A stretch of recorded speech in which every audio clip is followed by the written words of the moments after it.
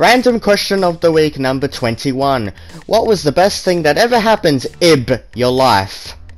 Shut up, I can't spell. I don't know what the best thing happened in my life, to be honest. Some good things happened like getting my PS4 for the first time, buying new games, or getting KFC. But my top number one best thing? I have no idea. Probably making videos for you guys. Just kidding, but it's still awesome too.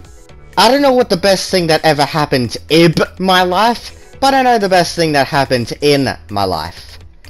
Nothing, because it's all meaningless. Because it's all basically meaningless. Next.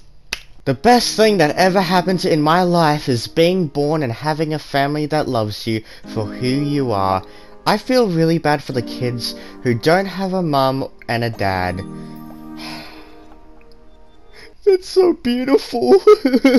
Discovering it. oh, I love this answer so much. That's why it's the thumbnail.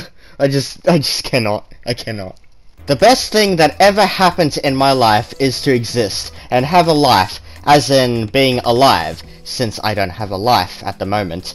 Because the lockdown that is going on right now has made me play games all day.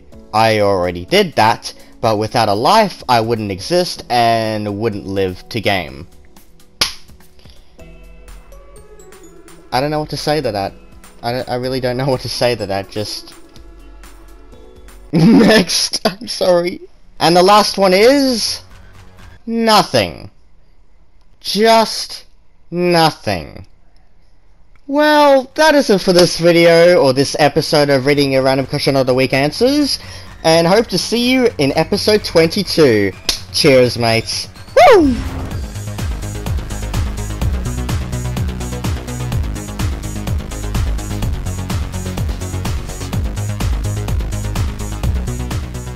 Random question of the week number 22. If Mr. Beast gave you $100,000, what would you spend it on?